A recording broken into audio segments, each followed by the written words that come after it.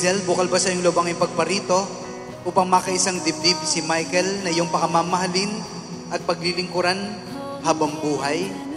Opo, Father. Michael, bukal ba sa iyong loob ang ipagparito upang makaisang dibdib si Hazel na iyong pakamamahalin at paglilingkuran habang buhay? Opo, Father. Dahil bigyan mo to kay Michael. Okay, thank you. Thank you. I love you too. See you later, my dear husband. Yes. Yun no?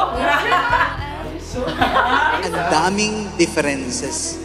Pero sa marriage, nagko-complement, pinipilit ninyo na makomplement yung isa't isa.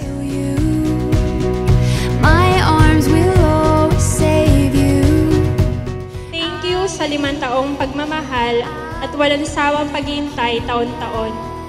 Salamat sa pagiging makulit mo at hindi ka sumuko kahit pinapagitigil na kita noon at gusto ko magkaibigan na lang tayo. One can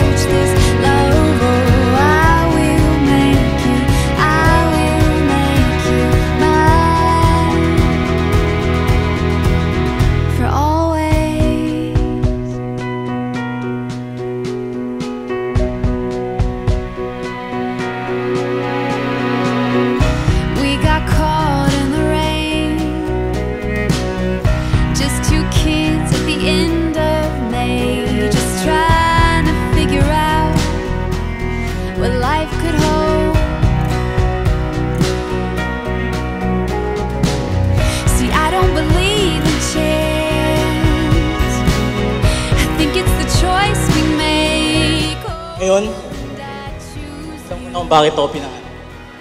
Yun yung mahalin ka at ang magiging pamilya natin until my last breath. You're the answered prayer from God.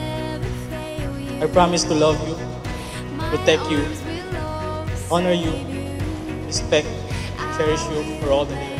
Hi babe, hope you like it. A simple thank you for all the effort you made throughout to make this day perfect and memorable. I love you so much. Happy anniversary, see you later.